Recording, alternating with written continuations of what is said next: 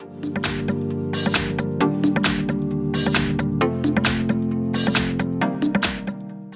Hi everyone, in front of me I've got Realme 8i and let me share with you how to show emoji suggestions on this device.